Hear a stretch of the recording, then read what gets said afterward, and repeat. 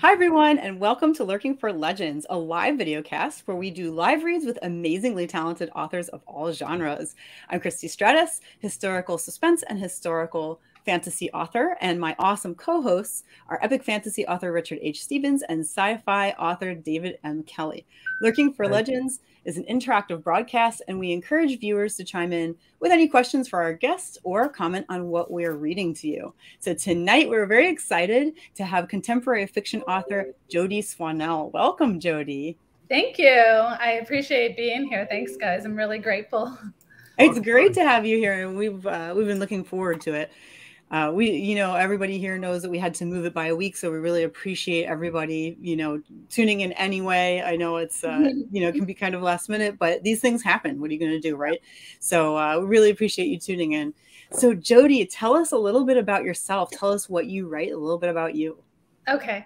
Um yeah uh, i'm basically i have i'm new to writing so i just started my first novel the beginning of last year, and I published it in March. Um, I've always been an avid reader and writing in journals and stuff like that, but that was the first time I decided, okay, that's it. I'm gonna I'm gonna do it. I'm gonna go ahead and publish a book, and and I went through a lot a huge learning curve and and worked on that. Um, I'm not from Kitchener area, but I've lived here for maybe over 20 years now, but I'm from up north. So I was born in Kapuskasing and I grew up um, in military bases. So I moved around a lot and got to meet a lot of uh, interesting people. And uh, yeah, I don't know. cool, cool. So did you just like jump into writing or did you do some like learn like uh, classes or courses or anything first? I jumped. Yeah. Yeah, that's fun. I didn't take any classes. I, I, mean, I was taking like a web design course at uh, McMaster University, trying to learn how to use the computer and stuff. And then that they discontinued that. So I, I really like designing and writing things. And uh, like I said, I was always journaling, writing with pen. Mm-hmm. Um, so I just, my son's girlfriend actually caught me. I thought, I'm going to write a book. I started, you know, writing it. And she said, what are you doing? And uh, I'm like, nothing. What do you want? and then I told her I'm writing a book, and she said, well, I want to read it. And as soon as she said that, I thought, okay, now I've got to do it. And I just, you know, buckled down. I started learning from everything, like starting with, uh, okay, I need to write in New Times Roman and double space and indentation. I, I had to learn from scratch everything. Well, you know what? That is totally amazing. I just met Jody a couple months ago at uh, one of the local uh, writers groups, and you would never know she's just jumped into uh, being a writer. I've done a couple book events with her now, and she her booth setup is second to none. It looks better than most booths that are there. Aw, that's because nice. she seemed to do very well there. I think you'll she outsold me at the last one we just did, so I'm I'm a little jealous. I could probably learn something from Jody, and Jody's been doing it less than I have. So. Uh, no, she did amazing, and uh, I, I, got one of her books, and uh, I read it, and I really enjoyed it. So, uh, Jody, you've uh, jumped in with both That's feet. Uh, fantastic. But, you're doing really well. I was uh, determined. and another thing too is uh, we had a meeting last a couple weeks ago, and uh, the host of the writing group uh, couldn't come, and Jody stepped in and she ran the whole meeting, and she did an amazing job. Like you would never know she's just new to writing because uh, the answer she gave the newer writers that were asking questions, uh, she just knew them like that, and she was snapping them off. I thought, wow, that's I would never know you were a writer. That is great. wow, that's fantastic. Thank you, thank you. That's I'm very grateful for that because I mean uh, I, I hold you in high esteem. The first the first book fest that we went to, my husband and son were drooling over Richard's dragons. You know, cool. in the parking lot, and then we're like, "Oh, he must be really famous. That's so." Oh cool. yeah, yeah. I'm like, check out his books, and they were nervous to go near you. Oh no, it was funny. That's that is funny. So uh, but it's funny, isn't it, how, how we all have these same experiences? Because I mean, like Richard, you were saying, like when you came to see me that time at the yes. uh, at the event, you were sort of like, "Oh my god, it's like David That's Kelly. Right. He's, he's a big author," you know. So. I love it. I'd never been to a Comic Con in my life, and I, I met David through uh, Facebook, one of the author groups there, because I didn't know how to do Amazon, and he helped me set up my account on Amazon in 2017. Oh, nice. And he was doing an event in London, Ontario, at uh, Forest City Comic Con everyone will go down and see him. And I got to see this famous author uh, uh, selling his wares and signing books. I thought that was so cool because I'd never actually done something like that. And Very cool. I, I, learned from David. Actually, my very first con that I actually did book signings was up in uh, David's hometown. Uh, mm, we did the Subway Graphic Con, and uh, I sat there twiddling my thumbs, uh, hoping someone would even look at my table while Dave's sitting there signing books. And wow, yeah, so. Mm, I don't think I saw. I don't think I was signing that many. it's all about perception. But, yeah, I guess it's relative. yeah, no, these these cons are very good. And I was talking to Jody off stage uh, or off camera and uh, about uh, the event we did last week. Uh, it was okay. It was mediocre for uh, something that I normally do, but uh, I love being there with a bunch of authors, and I love meeting new book fans. So even though it was kind of a long day, it was it, they're always worthwhile to go to because it's nice talking about your books. Yeah, and you know getting books into new people's hands and every time every now and then you get a return reader and that's really gratifying so mm that's very enjoyable. And it stayed dry. I was yeah, really it dry. threatened to rain all weekend, and it was actually a very good weekend. So before we start, Christie, why don't you tell us a little bit about what's going on with the Christie Stratosphere? Oh, well, we have big news. Prohibited Magic is finally publishing to Kindle Vella. So it's a little bit later than I planned, but I did have to. Yeah. Thank yes, you. I saw that. That's awesome. Very exciting. So this is book three in Grimoire Society of Dark Acts, mm-hmm. um, which is Gaslamp Fantasy. So mm-hmm. um, currently on Vella, it is also you can read it on Patreon as well, patreon.com slash Christie Stratos. And uh, you get it there first. You get it there on Friday, and then you get it on Vella on Monday. And today on Vella, all four of the first episodes posted. So episodes one to four are now, now available. Episodes one to three are free on Vella. The fourth one you do have to start paying for from you know episode four forward. But on my Patreon, episodes one to four are free. So definitely check that out. It's only a dollar a month and you can read every episode ahead of time. So I'm super excited about it. I'm currently writing um, episode 10, so I'm well ahead and um, you know, getting good feedback already. So that's exciting. Awesome. Yeah, yeah, super excited about it. And also, you got new covers as well, haven't you, Christie? Yeah, I got new covers. Yes, that was a whole thing. I initially was going to get one new cover done. Um, I was looking at all these places like Shutterstock and it was just so much AI and I really wanted a human mm. cover designer to do it for me, you know. So um, so I worked with Con Lavery. He's fantastic. He's designed my website. I work with him all the time. And um, he actually made remade all of my covers so that they all go together. And I love cool. them. They're really, really cool. They look very nice. I saw them. Yeah. Thank you. Yeah. We've had him on here a few times. So yeah, he's fantastic. Absolutely. that's neat. How about you, Dave? What's new in the David Kelly universe? Um, uh, what's new in my universe? I finally got my suspension back on my car. you, you, had your license, you had your license suspended. No, my suspension. Oh, oh, oh, yeah, I finally got it all back together, uh, which has been like a major pain in the um, rear yep. end. no pun intended.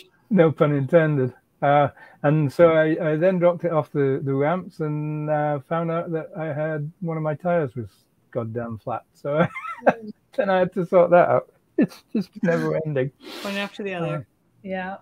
But on the writing front, um, I have started editing my uh, Joe Ballon prequel novella. Nice. Uh, and I'm about a third of the way through that now. Um, and I am still working on the next uh, Hyperia Jones book. Uh, I'm around about probably about thirty percent into the way in thirty percent of the way into that at the moment. Um, but other than that, trying, as I say, mostly to put my car back together so I can actually drive it this year. I hope. that would be cool. So yeah, I've been more greasy than keyboardy. what about you, Richard? Yeah, no, I'm about 92,000 words into book four in the Highcliffe Guardian series. It's coming along slowly, but uh, I, I, think the action's starting to pick up. So that's going to help the writing pick up as well. So we're getting near the climax of the four books.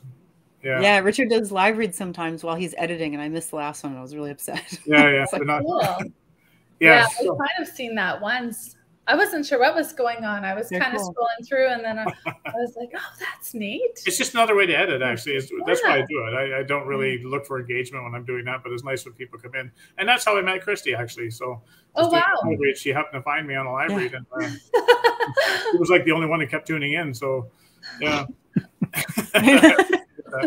I would never do that because like nobody nobody, nobody ever sees my first drafts at all. Nothing. It's like no way. It's like until I redrafted it, it's like it's not leaving my the my clutched fingers, you know, sort of thing. it's, it's just another, there's so many different ways to edit your book, and you know, obviously yeah. someone else edited as well. But when you're doing your own editing phases, you, you do it on paper, you do it on the computer, you do it by reading it, reading it out loud. So that's just another way to, it, especially for dialogue. I find reading it out loud really helps you mm-hmm. smooth the dialogue because when you write these purple prose in your dialogue, it sounds so mm-hmm. awesome when you're typing it on your computer. Yeah. But read out loud, it's that sounds awful corny. no one ever speaks like that, and you change it. So that's a, it's a great way to edit oh. your book. But, uh, I, uh, as far as events go, uh, I have another event coming up this weekend. This is my premier event that all year I look forward to this day.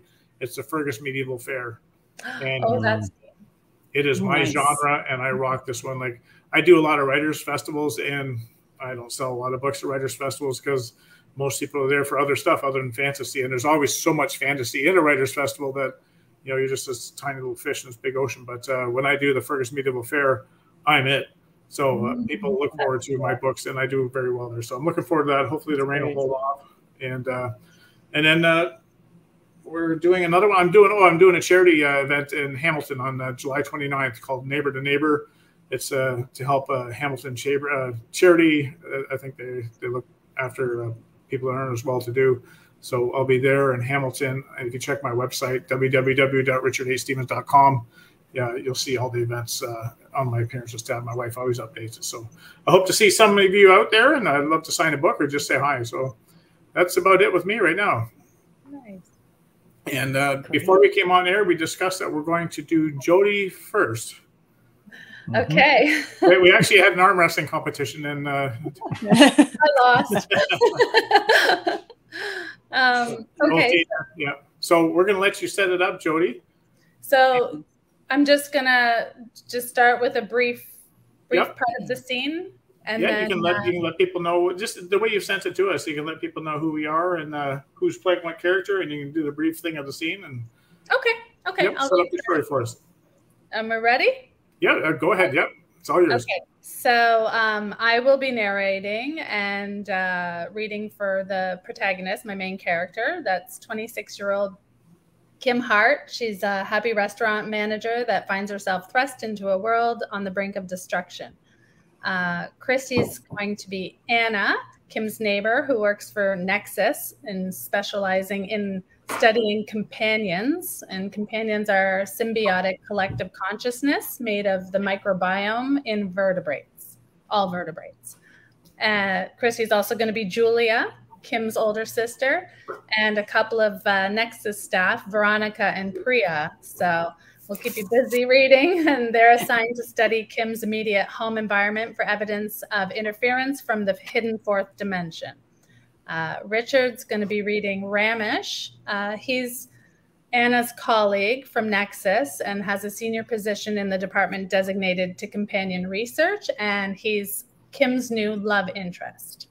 Uh, Richard's also going to be the pizza delivery driver, as a brief line, and Billy, who works for Nexus, and he's the head of the AI department and one of the technical geniuses responsible for the creation and maintenance of Nexus Company's AI program. And the AI is called ZVAX. Now, David will be reading Ken, which is Billy's assistant and historical researcher.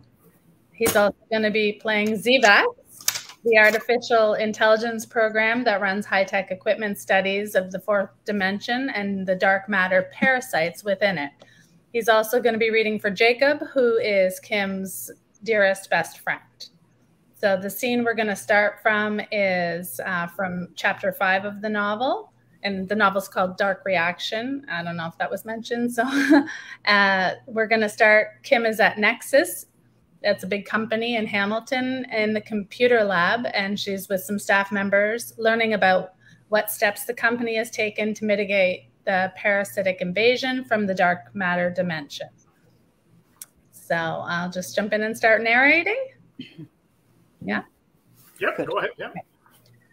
Billy's face was flushed from breathing heavily when he stormed in and joined us. He plunked himself down on one of the wing chairs. Ramesh followed shortly after and regarded the holographic graphs above the coffee table for a few seconds before sitting beside me. I see Ken and Susie have shown you the postulation index. Ramesh said disdainfully. Susie threw her hands in the air. The hologram was here before I showed up. Don't bring me into this. It's fine, Susie. I'm not hiding anything from Kim. Ramesh turned to me. Zivak wants you to provide a sample of your bone marrow. Okay. I suppose it's going to sting, right? I winced. Don't worry about the pain. Nexus has painkillers that are so effective they'll make you think you went for a massage. Ken winked. ZVAX requested we get a biopsy to look deeper into your biology. You have macrocytosis. Your red blood cells are larger than normal, and you also have a fast heartbeat. Billy said. I didn't know that. Is it serious? I asked. Hard to say without further examination. Red blood cells carry oxygen. From what I understand, it could simply mean you're borderline anemic. Nexus is researching and logging everything about your health and lifestyle. Billy answered. If you thought you had any privacy, think again, Susie said sarcastically. What was that other thing you found? ZVAX? Billy sat back in his chair, his color returning to normal. We discovered two infrequent non coding DNA sequences in Kim's genome. One of the strands of DNA serves an unknown functional role that might decipher why Kim seems to have protection against attachment or feeding from the arachnids. The other transposon regulates the enzyme responsible for bacteria tolerance. This special gene allows Kim's bacteria to flourish, which could help explain her exceptionally healthy microbiome. The mutation may be key to the human companion relationship. Zivax responded. Billy leered at Ramesh, and I sensed he was using his companion to communicate.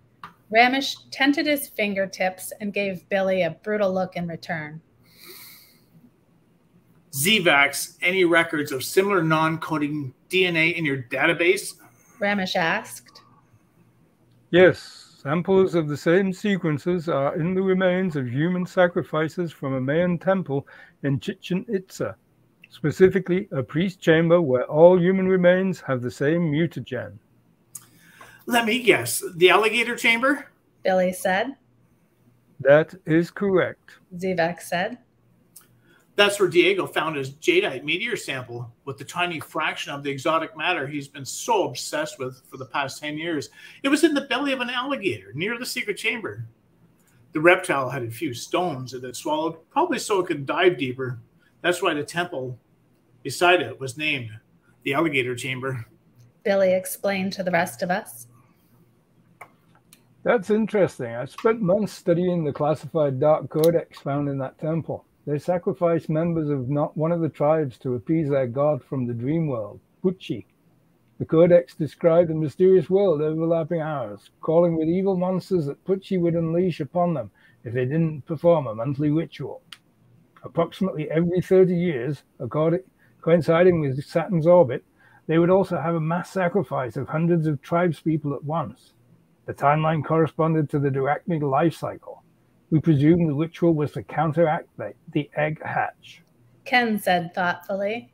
It sounded morbidly absurd, but at the same time, these ancient Mayan priests were onto something. They knew too much about the fourth dimension, the Drachnids, and their life cycle.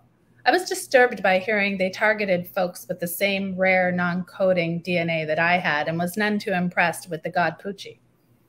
Project Arrow has taken precedent anyway, so I doubt ZVAX's index will mean anything. I hope for victory. Then we can get on to the fun stuff like augmented reality. Susie said and applied a lip balm. We all hope for the project's success. I'm concerned because ZVAX is concerned. Billy said pointedly. Susie turned to stare at Ramesh. Kim has agreed to participate in the Gamma Project. Samuel hasn't expressed interest in the Gamma Project and will focus on Project Arrow. I'll take Kim to get the bone marrow sample. We'll hope for the best. Ramesh stood and looked down at me. If you come with me, we'll visit the Meteorcorium. We said goodbye to the group at the computer lab and headed to the exit. What exactly is non coding DNA? I asked in the elevator. Picture a birthday cake. If DNA gives you the ingredients, then non coding DNA tells you when the birthday is and how much cake to make. You may be familiar with the term junk DNA. We're learning that even what seems to be scrap has a purpose. Ramesh said. Fascinating, I said. We found the Medicorium crowded with people and mobile units. Inside and out were lineups of Nexus staff getting their nanobot infused shots. Ramesh escorted me to a reasonably vacant area compared to the rest of the medical center and was kind enough to wait.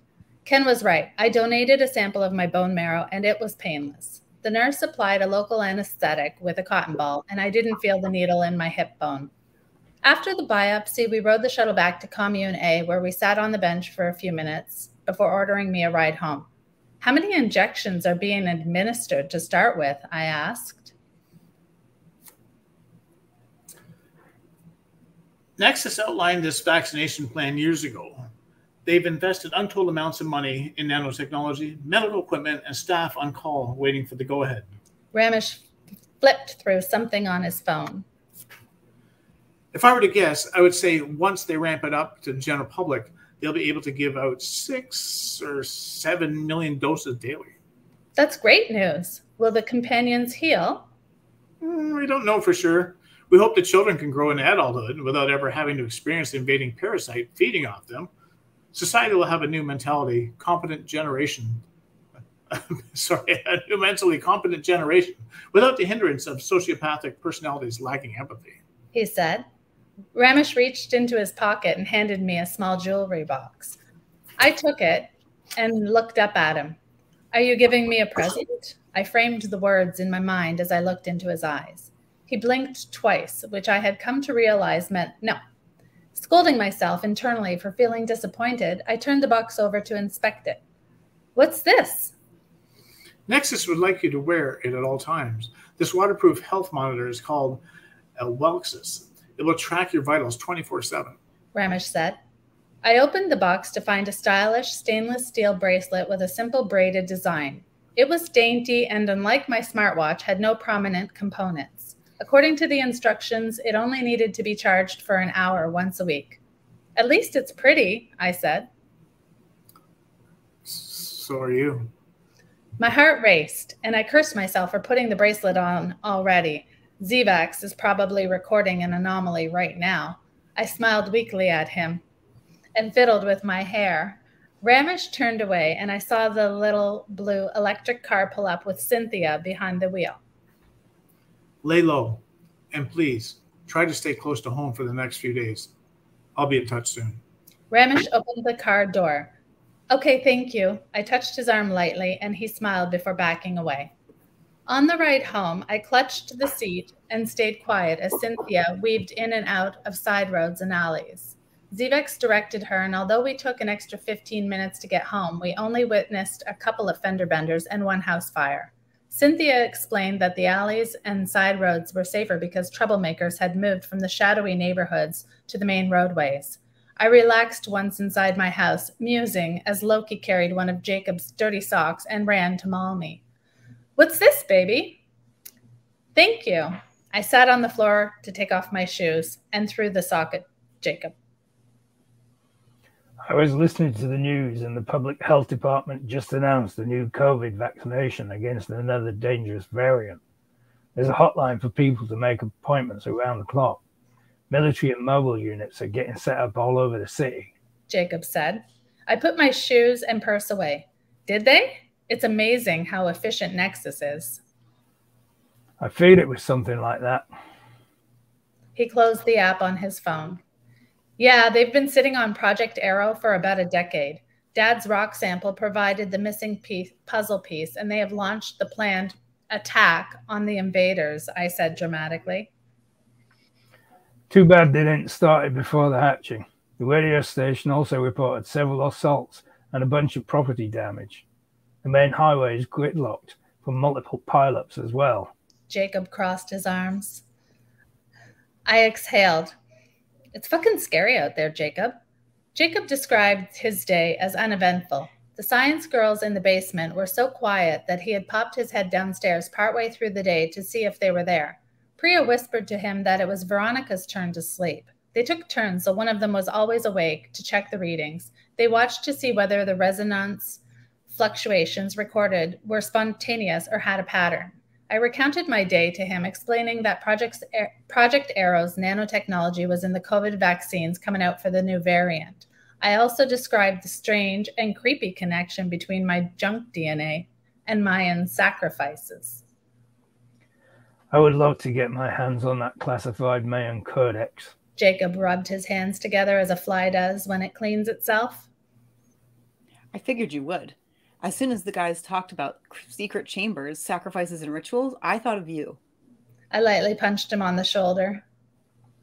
You know what I like. He wiggled his eyebrows at me, making me laugh. For dinner, we ate pizza paid for by Priya, who assured us she was using a Nexus credit card. The pizza came almost an hour late.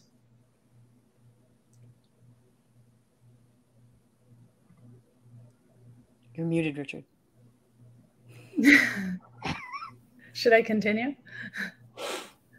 The delivery driver told us he looked like he'd seen a ghost and darted away like he was being chased by one. Poor kid, Priya said. I closed the door while she took the pizza to the table. I insisted Veronica and Priya eat in the dining room with us since they provided the meal. I wolfed down three slices and listened to Jacob question the girls about the structure of the fabric of our reality. The three dimensional flower of life pattern can describe the gravi- gravitational field of any object in our dimension. Zivax has postulated that the laws that govern the particles in the hidden fourth dimension are quite different. Veronica said. We believe the wavelength of the most fundamental fragment of dark matter is longer and vibrates slower than those in our dimension. It hardly interacts with the electromagnetic field and is essentially cold. Priya said. Do you think there's intelligent life in the dark dimension? Jacob asked. Priya and Veronica looked at each other for a split second, and Veronica sipped her soda. Hard to say. Priya blushed, brushed her bangs out of her eyes. Intelligent life has not been ruled out because we know so little about WIMPs. W I M P S. Usually, time is considered the fourth dimension. That's why the dark matter dimension is called the hidden fourth dimension. I understand four dimensions. If I tell Kim to meet me at Bean Island Cafe, I can give her the location in three dimensions. But if I don't tell her the fourth, what time to meet me, my coffee will get cold while I wait for her to show up. Jacob winked at me, and the girls laughed. Where is this hidden dimension? It's right here. Veronica opened her arms wide. The dark matter dimension is superimposed on ours. Visualize a holographic image on a two dimensional baseball card. You can turn it slightly and see a three dimensional image. So if I could turn our world sideways, I could see the hidden dimension? Jacob's eyes searched the room as if he was trying. Dark matter moves incredibly slow, and everything, including a stone in our world, is vibrating fast and hot within it. Veronica said. Kind of makes me think of the Chinese yin and yang, hot versus cold, and fast versus slow, all within each other, I said. Mathematically, it's much more complicated than that, but I see how you could make that connection. Veronica smiled at me like I was a child. Jacob's phone rang and he excused himself to take the call. I could hear he was speaking with his new friend, Matt. Veronica and Priya returned to work in the basement and I took Loki to the backyard. I dialed Julia's number for a video call to see how they made out in the Nexus residence. She walked around the place holding her phone camera so I could look at the elegant condo. Holy crap, Jules, what a view, I said. I know, it's beautiful. It overlooks Lake Ontario. So, don't keep me waiting, I said. Jeffrey has accepted the possession for a one year contract. Julia's white teeth gleamed on my screen. That's great, I said, delighted. How are you holding up? I asked, feeling sad suddenly, knowing that living here meant she could have seen our father more often if he was still alive. I'm holding up well enough, considering I miss Dad terribly. It's strange being here in Hamilton and not going to the Dune Care Center. We talked briefly about him, then I chatted with Sherry, who showed me some pictures she colored, which roused my desire to start another art project myself. After ending the call, I found Jacob waiting in the kitchen for me. I'm going home tomorrow if you think you'll be okay. Of course, I'll check in on you, but if you need and if you need anything, call me. Jacob cocked his head sideways, watching for my reaction. I'm good, thank you. I peered out the window to see the unmarked security vehicle parked on the street with two Nexus officers watching the house. The next few days were blissfully uneventful. Jacob left early in the morning before I woke and left a note with instructions to behave and call regularly. Veronica and Priya stayed for two more days, but were almost invisible. I spent the first day reorganizing my spare room so I could start a new painting. It had been a while since I'd fostered my creative side, now, with the opportunity to relax, I played my favorite music and enjoyed focusing my mind on artistic expression. Mixing the colors to create a unique picture on a blank canvas, canvas made me feel like a magician, and I found it to be therapeutic. Loki woke me up on the third day, whining in my face. I opened my eyes to the usual sloppy kisses and a wagging tail. My phone showed I had slept two hours past when I just usually just got out of bed. Just let me get my robe on and I'll let you out, sweetie. I poured cereal into a bowl while watching him run around in the backyard. He was sniffing the packed grass where the sensors that Priya and Veronica removed the previous day had left indentations. They'd packed their gear last night when Nexus reached out to them, saying they'd collected enough data at my place. I was to keep wearing the Welksys monitor that Ramesh gave me. He sent me several messages checking how I was doing and informing me that the bone marrow tests didn't reveal anything special. I was putting a load of laundry in the washer when the doorbell rang. Loki beat me to the entrance, and I opened the door to see Anna with unusually messy hair, looking like she hadn't slept. Jesus Christ, Anna, you look like shit. Come in the house, I blurted. Thanks. She stepped inside and looked over her shoulder self consciously at the security detail parked outside our houses. What's the matter? I asked. She flipped her shoes off and went to sit on my couch. Loki jumped on her lap and she hugged him. Oh, Kim, it's a fucking disaster. She ran her fingers through her hair. I tensed. She was scaring me. What happened? Project Arrow. It's completely backfired. I dropped into the chair across from her. What do you mean it backfired? I remembered Billy's warning. Images flashed flashed through my mind of people getting sick from radiation poisoning or torn apart from the inside out. At first, everything went as expected. The nanobot successfully inserted Project Arrow's synthetic particles into the targeted glands. It was wonderful, and we celebrated. The Darachnids stopped feeding, and followed up tests follow-up tests showed that they had disappeared. Anna sniffed. Where'd they go? We didn't know at first. We feel foolishly hoped they were poisoned and died. Anna put both her hands on her cheeks. They didn't go far. Wherever they went, they had undergone a type of biological metamorphosis. Oh no. Zivax concluded that the darachnids and larvae were under stress from hunger. Initially, the synthetic particles repelled them, but they also provoked a physical and behavioral change.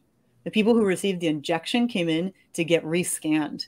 The Darachnids had reattached them to them with bloated stylets and fed more aggressively.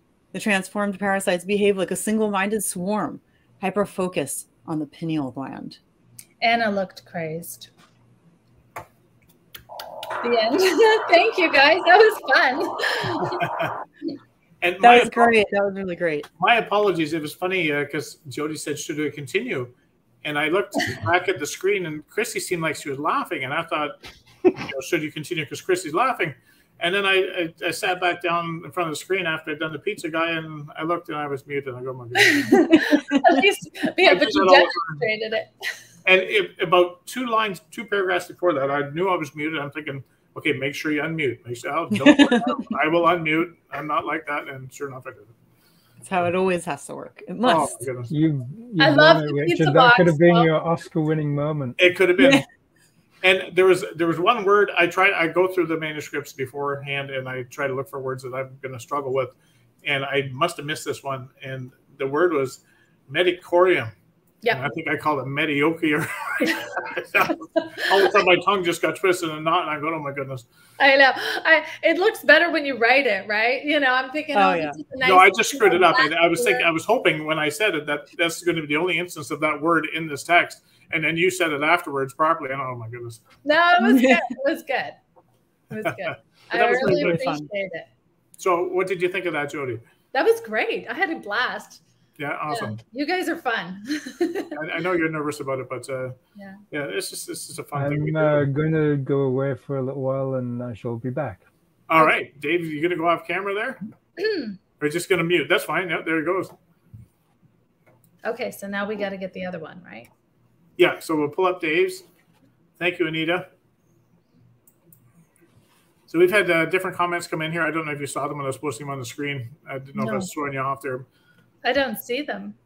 Oh no, No. Oh, you maybe don't see them on the side. Yeah, but I was putting them down the bottom here. Do you see that now?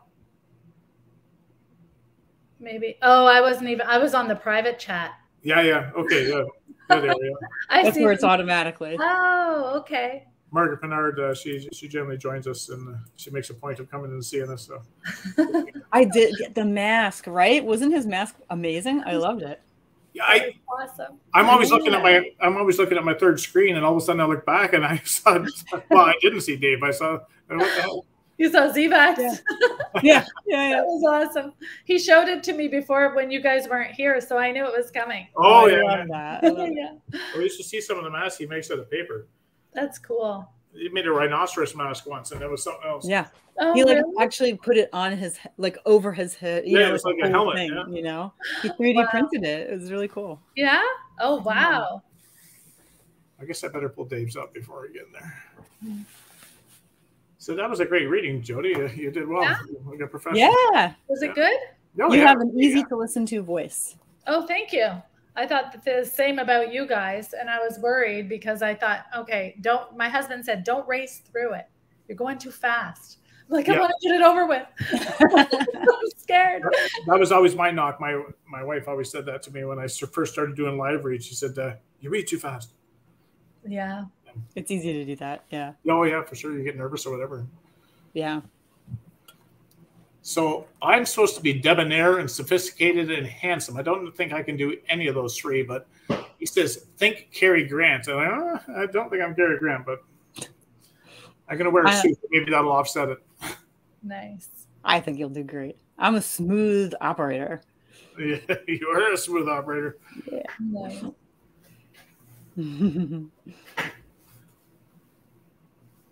And you're also the youngest daughter. I'm also a nine year old. Yeah. Nice. I have met once a smooth operator male and a young, young girl. Nice. I wanted to get a, a bow for my hair, but I just I couldn't ma- you know couldn't get anything to show on my. And Jody, it looks like you're my wife, and it says you're patient. And that, that would Patient probably sum up what you need to be. That's easy. oh, but you were involved with Doug in college. Who's Doug? I'm Doug.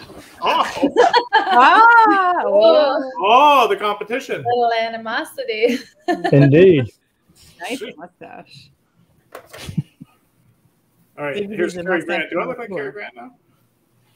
Better. The suit No. looks good. It does. You have to work on your dimple. Was that supportive? All right, Dave, if you want to introduce us and your story. Okay. Uh, did you describe the characters? Uh, I didn't do thought I heard- anything, Dave. No, I was leaving Okay. that all to you. Yeah, we were just having a nice discussion. We're talking about you. Okay, um, so uh, this is uh, an excerpt from uh, my story, A Place in the Sun, uh, which is based on the classic novel and uh, movie uh, Mr. Blandings Builds His Dream House, um, largely, with science fiction things.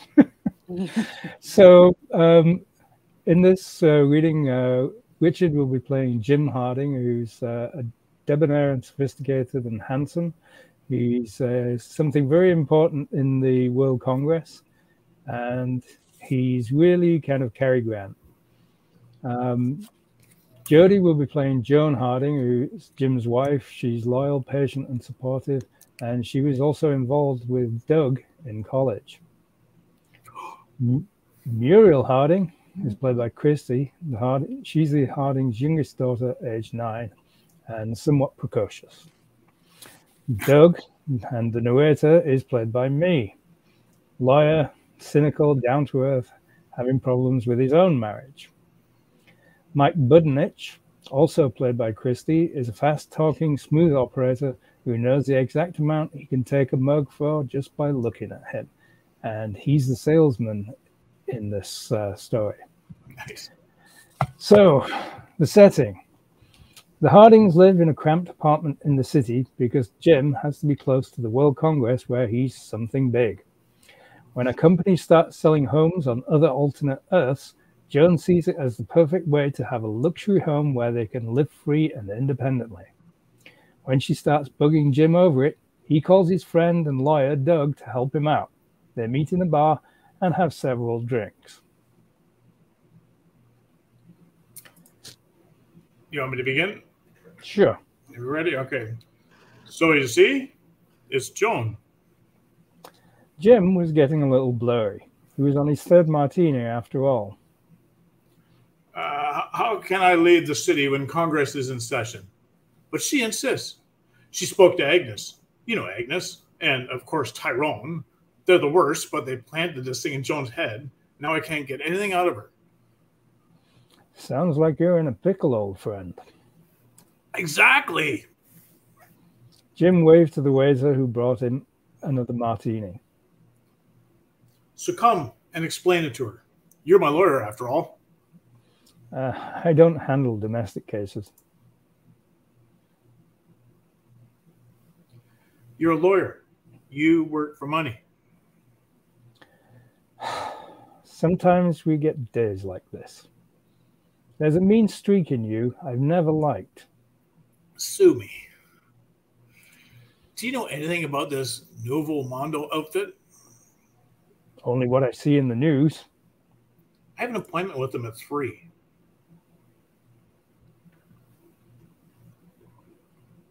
Ah.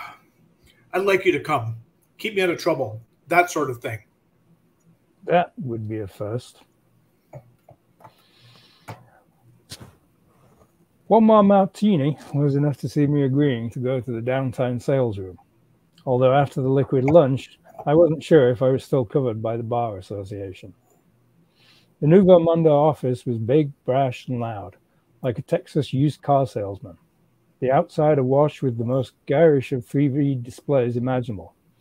The door slid open as we approached, and we stepped inside to a perfectly controlled environment as warm and comforting as a mother's kiss. Gentlemen, how wonderful it is to see you this afternoon. I'm Mike Bidenik, buddy by name, buddy by nature. Look here, Budnick. You people have got my wife in an awful tiz. There ought to be a law. There probably is. That's why I brought my lawyer. You can't go around planting strange ideas in other wives' heads. It's unconstitutional, damn it. If you want to do that sort of thing, stick to your own wives. Budnick sized Jim up in an instant. He stripped off Jim's Rudolph Rayburn Vanquish 2 suit, ran checks on Jim's credit chip, and even counted the loose change in Jim's pockets in a single beady glance. You have me at a disadvantage, sir. Your name, please? Harding. Jim Harding. But what's that got to do? Warn him off, Doug. You tell him. Budnick he- hesitated, and I saw the tiny flash in his neck as his memplant fed every bit of data available on Jim directly to his brain. After that, he knew everything about who he was dealing with, right down to his inside leg measurement. Ah, yes, Mr. Harding. Let me see. Joan, that is Mrs. Harding, came to see us just two weeks ago to get some preliminary information. I take it you're here to arrange a purchase? Jehoshaphat, not in your life. Jim stood tall for a moment, then the martinis pulled him back down. I'm not. Now, look here, old man. I don't mean to degenerate your business, but some of us can't simply leave town at the drop of a hat. I have important work to do here. It would be irresponsible, impossible. I, I can't leave. And that right there is the beauty of buying a home from Nuevo Mondo Inc. Our patented TetraQuince shift gate technology means that you can be in your home in minutes without even suffering the indignity of a transit tube. We're proud to say we now have shift gates in easy walking distance throughout every major city and town worldwide. What nonsense. Jim pulled out a soothe stick and activated it with a sharp flick, sucking in spicy aromatic fumes. What kind of idiot would trust a contraption like that? You're quite right, of course. But if you gentlemen would care to come this way, I'd like to show you just what it is that makes Nuevo Mondo the best choice for your new home. Jim was about to object, but now I admit I was curious. Come on, let's take a look. We came all the way down here, and I wouldn't mind learning more. And it would help your discussion with Joan. Uh, all right. Budnick led us to a side door and held it open. I stepped through behind Jim and walked slap bang into the middle of his back. He stopped just inside the door, and when I recovered from the collision, I understood why. Instead of the expected office, we were on a broad concrete patio overlooking an open vista of rolling hills, lush wetlands, and thick forest. In the distance, a herd of long-necked dinosaurs munched happily on ferns, braying occasionally over the primeval landscape. Show me Jehoshaphat. Is that some kind of trick? Jim edged forward towards the thick wire mesh that enclosed the patio area. Where's the city? right where you left it. This is Earth Prime, the first alternate Earth Dr. Korolev discovered when he created the TetraQuince shift gate. In this reality, the impact that killed off the dinosaurs never happened, and they still rule the world. Amazing, isn't it?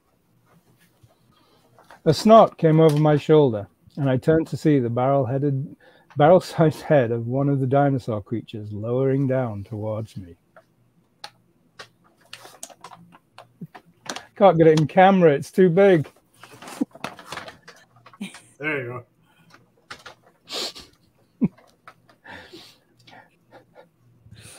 go. It blinked slowly, its giant chestnut eye level with mine.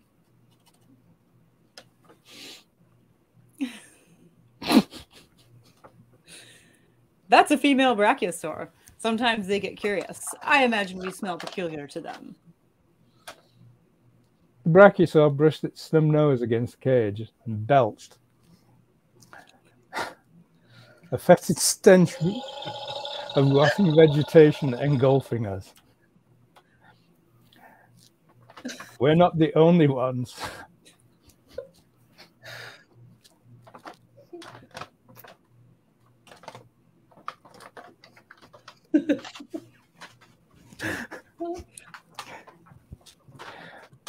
We're not the only ones, I muttered past my fingers, holding my hand over my face. But how did we get here? Jim looked at me as if it was somehow my fault. Nuevo Mundo serves over 300 cities around the world. But Budnick gestured at the lush greenery. Would you believe it, gentlemen? The, the company only has a single office. As we like to say, all roads lead to Prime. My head was spinning from something other than the martinis. That still doesn't explain it. A flash of lightning broke the skies, which darkened rapidly. In less than a minute, fat drops of rain started to pelt us, and Budnick pointed back towards the door. We should go in. It's monsoon season. We barely got to the door before a deluge fell from the sky, bouncing over 10 centimeters up from the bone gray concrete of the patio. I ducked through the door, but was already soaked. Jim lifted a finger, then marched back through the showroom and out to the front entrance. He returned a moment later, his long face managing to somehow look puzzled and taciturn at the same time. Jim, I. He held up his finger again, opened the door to the patio, and stuck his head momentarily outside. When he moved back, his perfectly groomed hair was wet. It's not raining out there. He gestured to the front door. But it's raining out here? And the city? Allow me to explain. Budnick guided us to a couple of comfortable armchairs snugged around a polished oak coffee table. The entrance you came through is one of our shift gates. When anyone enters our showroom, they are instantly transported here. The gate remembers who you are and where you came from, automatically sending you back there when you leave.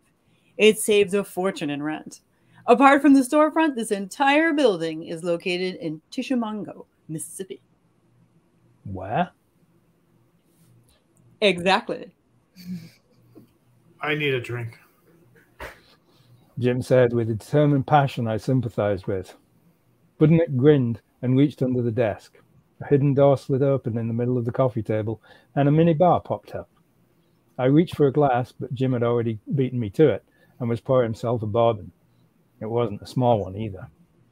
You didn't feel a thing, did you? Budnick helped himself to a small Bloody Mary. Admit it. I thought I remembered a slightly odd sensation as we entered, but perhaps that was rationalizing after the fact. Certainly nothing had occurred to make me feel something significant had happened, if it had.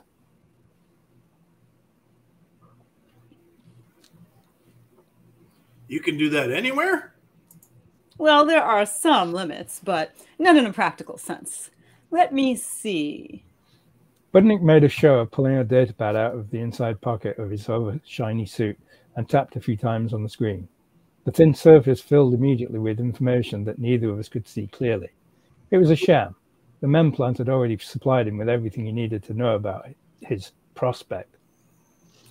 You work at the World Congress, Mr. Harding, and your personal office is on the corner of 18th and Fairfax. The nearest gate to you is next door to Horwald's on Willoughby, less than a three minute walk. Jim had that look on his face I'd seen many times with clients, one that says they're hooked. It's the kind of look you see in small animals just as they reach for the bait in the trap. Hang on, Jim. What about Joan and the girls? Don't you think? Your wife has already tried the gates downtown. They're right next to all the main stores. There's even one inside Marcy's. Also, the gates serving the girls' schools are within five minutes walk. And with kids, you know, it's all a big adventure anyway. Jim, just a, a... And how much does all this cost, Mr. Budnich? Access to the shift gates is included in all of our estate packages. The company takes care of all maintenance at no cost to the client, of course. That was it. That was the bombshell right there. And the estate package pricing? I butted in, ignoring Jim's warning glance. How much do those cost? Building costs are on par with any modern custom construction. Our consultants work extensively with the client to ensure that everything is satisfactory. I doubled the number I'd initially thought of. The biggest decision for the client is simply how much world they want to pay for. There are infinite possibilities for environment, climate, location, terrain. I quadrupled the cost in my head. Jim, Apart from the cottage, you've never lived in anything but an apartment. Buying a house is a tricky thing. With the premium on land globally, and especially in the major population centers, old fashioned individual homes were impractical nowadays, and almost everyone lived in apartments. Exactly, but that's what Joan wants. She said as much. All I want is a place in the sun, Jim. I never thought much about it, but now the cottage is strictly part time. This would be a permanent home, right? There was a dreamy look in his eyes. He obviously had some crazy idea of owning his own castle or something equally silly. Come on, Jim. We should go. I need to. Sure thing. You head off. I'll call you later. So, how much property do we get? Well, that's what I was saying, Mr. Harding. It all depends how much privacy you want. The smallest unit we do is a 500. Square meters? No, no. 500 households per world. Imagine Earth, but with only 500 houses on it. Only five? Jumping Jehoshaphat! The biggest pass package is the sole occupier of the course. With that, you get an entire planet, No compromises, dwelling built on any location, any size. Roam the planet at will. And do they all have um, dinosaurs? No, no, that's just for advertising. You wouldn't believe you'd been through the gate if all you saw was some grass, now would you? A whole world.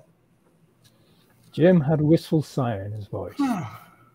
so, how much are these options?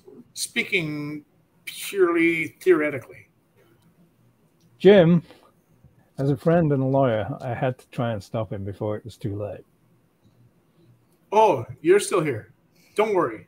You go do what you need to do. I'll be fine and make my own way back. The smug look on Budenich's face told me otherwise, but there's only so much a lawyer can do to protect clients from their own stupidity, and I knew I'd lost this one. Just promise to run everything by Joan and me before you sign anything, okay? He barely nodded before turning back to Budenich, who had already poured another glass of bourbon and handed it to Jim. So we're now having a scene break and moving a little bit further on in, on the story. The Hardings have decided to go ahead with their new house and have signed up for the most expensive option where they have an entire planet to themselves. After the construction of the house is completed, they throw a huge housewarming party to show off.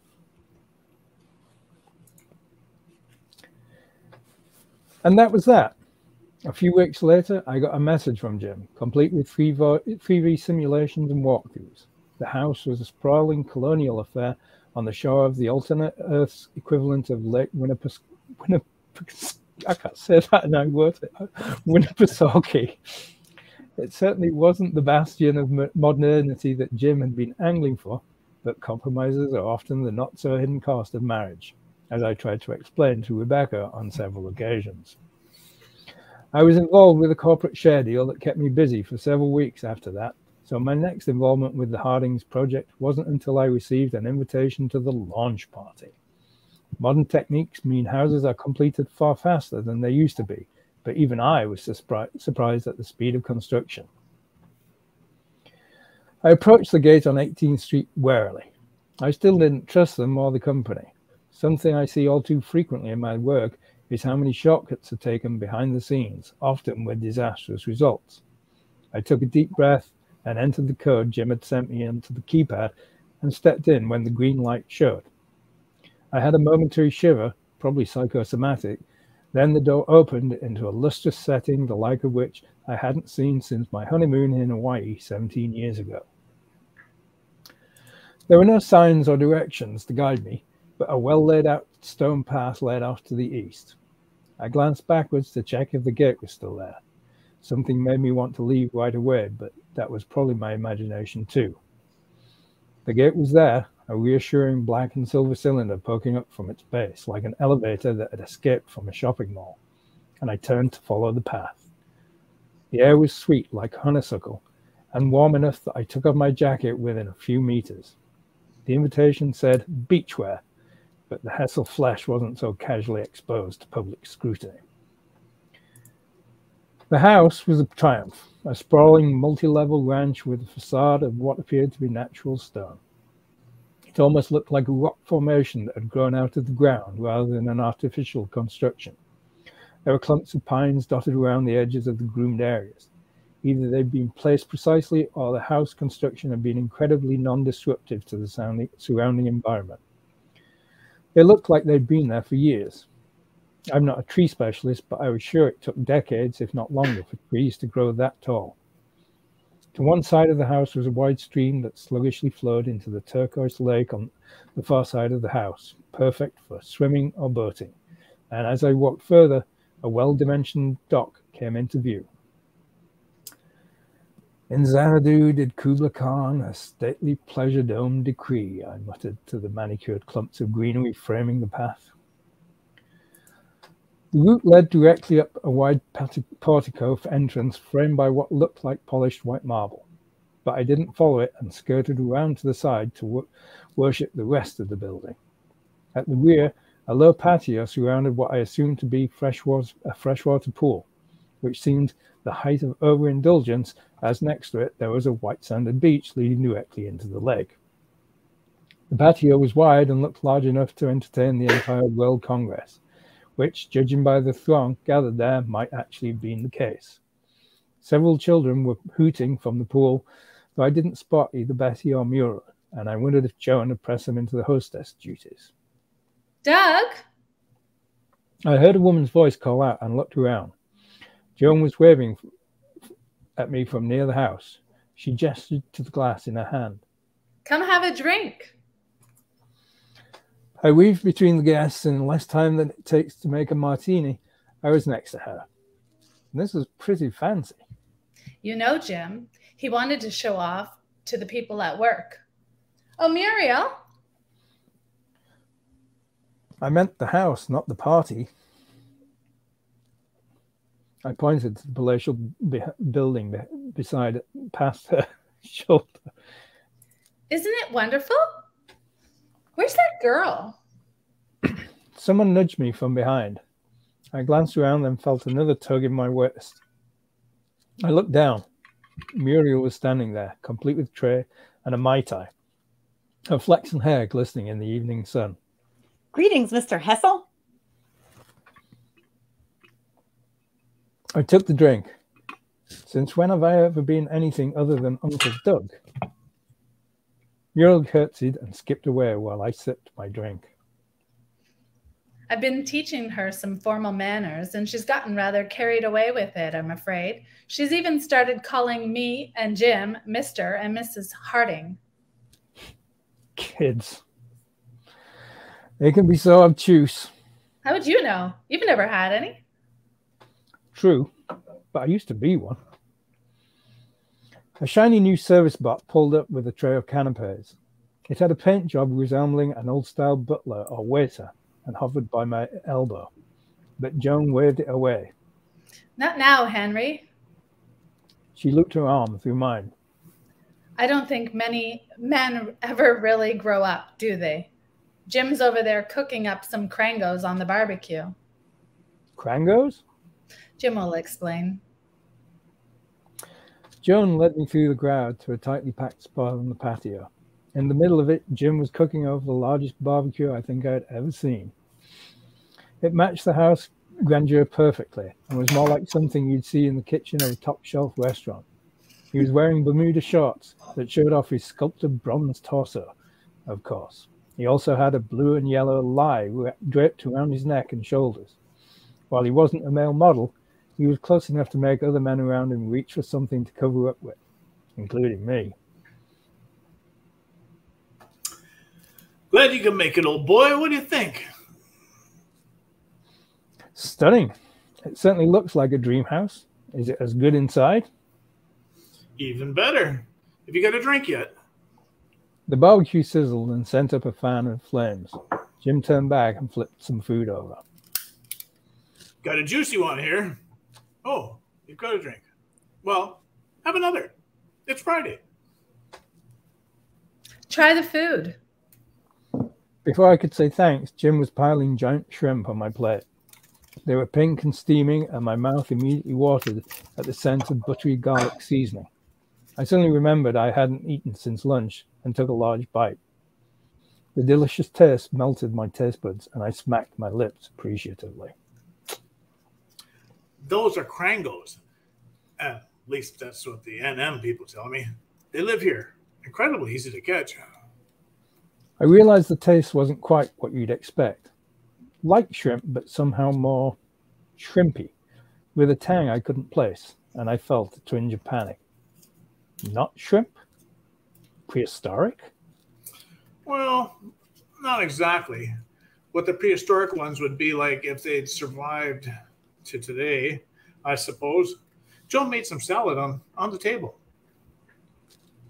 Is this stuff safe? everything's safe. Didn't I tell you that? The bugs here, the um, pathogens, don't know what a human being is. I could say the same about some of my clients. Yes, well, the upshot is that there's nothing here that can affect people or cause problems like that. Eat up. There's plenty to go around. I'll show you how to catch them later. They just paddle around in the shallows, almost waiting to be caught. You did bring a bathing suit. The end. That was cool. Thank you, That was a lot of fun. That was a funny one. There, there was some great It comedy was funny. I'm afraid my friend just doesn't fit in the frame. He was cool. Oh yeah, I like that. He is cool. Wow. I can hear the Jurassic Park music. That's awesome.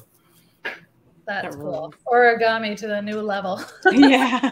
That's great. So again, we were discussing off air uh, when we're going to appear again. I'm on holidays uh, last part of August, and Dave can't make it on the 8th of August. So generally, we're going to pop in. So uh, I'm not sure when we're going to do the next one. We might do it on the 1st of August, but I think that might be a bit of a press to get a third reader or a second reader in. So I'm not sure. Uh, we'll keep everyone updated uh, when that happens, and we'll post it again on the social media channels. But uh, right now, we're not sure when we're doing a live read. I will be doing a an excerpt from one of my books, and then uh, we need a guest author. So if you're a guest author and you're listening right now and you want to be on that live read, uh, reach out to me, and uh, we'll get you in. But we're going to need your excerpt probably by next week. So if you can do it that quickly, then we'll get you in. That'd be super. Thank you for having Were having you me. eating? Were, were you eating Caroline shrimp? Richard? It's actually uh, it's funny because they're not quite shrimp, and these aren't quite shrimp either. They're just paper. Lots of fiber though. yeah. Oh, I love it. Hillary Oh. says, uh, Christie, she'd buy a home from you any day. nice. Me too. Yeah. Me too. That was awesome. Oops, sorry, I put that back in there again. Sometimes it acts slow. So, Jody, before we leave, thank you for coming on again. Uh, Thank you for we having appreciate you me. having you here, and uh, Thank you. we look forward to seeing you at the next authors meeting. And I don't know if I can make the one in August, but we'll see. Okay. Uh, where can people find your books? Your Amazon. website, and uh, where do you sell them? Uh, Amazon. I have a website. Um, What is your website? Pardon me. What's your website? Oh, um, can I send a link? Yeah, I, I don't know if you can put a link on here though. I, I could probably No. put it in afterwards. yeah, I have. I mean, if you go to my Facebook page, you can look up my name, Jody Swannell, and then there's a link Okay. there, and it t- it's on Linktree. So then it has all everything kind of in a neat little row. So you can go to the website, you can go to Amazon, you can go to Goodreads. Um, they're available on uh, Ingram Spark, uh, Kobo, Draft2Digital. There's a whole bunch. Smash Smashbox, I think that's another one as well. Okay. So uh, Amazon's the main one that I know. That's that's the one I usually share the link to. So if you look at my name or the name of the title of the book, then usually it comes up. Sorry, I wasn't prepared. I don't. No, no, it's okay. So the book we read from today is that published? Yes, yes, that one came out I think uh, March. So that one's called Dark Reaction, and Okay, cool. that one, uh, yeah, that one's been out for a couple months, and it's I see it's, another it's my big novel. I did the the one that you bought, Richard, which was Right. uh, novella or novella. I'm not sure how that's pronounced, and a couple short stories and stuff like that. But yeah, Dark Reaction's my book. And that, that's good. I'm glad I met you because I want to pick your brain on uh, how you did your witches research, but that'll we'll leave that for uh, another day. But uh, and Dave, uh, your book and where can we find your stuff? Where can we find the Brachiosaurus? and where can we He's- find the he's Brachiosaurus? cute. Yeah, he's cute. Yes. Where, where can we find your books, Dave? So you can find my books on Amazon, Kobo, Barnes and Noble, pretty much every online bookstore out there. Uh, you can order them uh, through me, through my website, davidmkelly.com. Um, but yeah, they're they're kind of like available everywhere, really.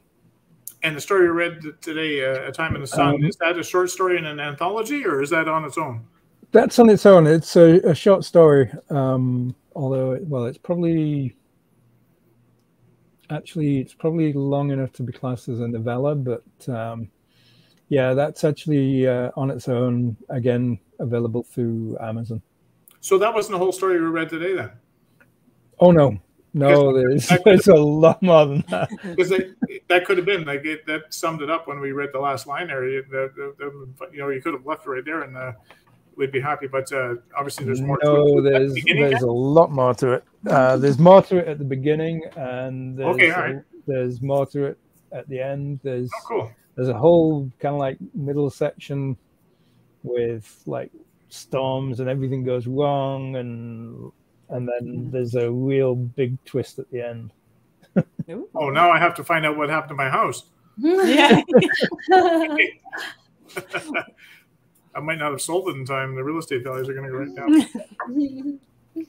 so, is there anything anyone else wants to say before we uh, sign off today? I think we're good. Just yeah. thank you. Thanks again. No, thanks for oh, taking I appreciate it. Thank you. So, yeah, so no, thanks everyone. The the reading was fantastic. Yeah, it was great. It was, yeah. It was a lot of fun. Even when you just saw my pizza guy go. the box, the box was great. You look great. Yeah, the, the pizza box was incredible. Thank God I had the box. Yeah. Okay, so thanks again, Jody, uh, for uh, making our live read awesome, and right. thanks, Christie and Dave. As always, uh, you guys make the Lurking for Legends show uh, rock. So until we meet again, uh, everybody, it's either going to be August 1st or it'll be the second Tuesday in September. We'll let you know. Take care, everybody. Take care. Bye. Good night, everyone.